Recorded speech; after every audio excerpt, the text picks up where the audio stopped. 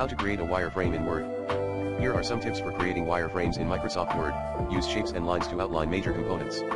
Insert shapes like rectangles, circles, and arrows to represent navigation bars, content sections, buttons, etc.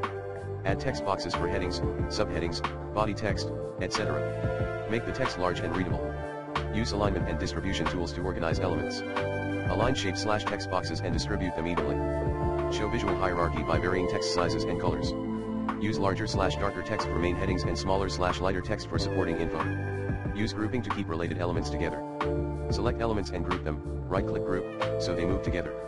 Add borders or fills to indicate images, videos, etc. Draw borders around shapes or add color fills. Use page slash section breaks between pages or screens. Insert breaks to separate different wireframe pages or screens. Add annotations or notes. Include explanatory notes about interactions or content. Create templates with repeating elements pre-made, like navigation bars. Then copy slash paste onto new pages. Keep it simple and minimal. A wireframe just needs enough detail to show structure and layout. Following these tips will allow you to leverage Word's tools to create clean, easy to understand wireframes for your digital projects. Let me know if you have any other questions.